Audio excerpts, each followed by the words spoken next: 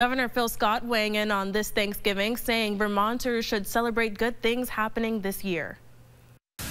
Let's try and listen to one another uh, without it being controversial because we're going to have a lot of that over the next few years. So let's not uh, let's not get too wrapped up in that you know, for this holiday weekend. In a statement today, Scott also thanked Vermonters for their hard work in responding to and recovering from this summer's floods and says he's grateful for veterans, members of the military, and other first responders working on this Thanksgiving.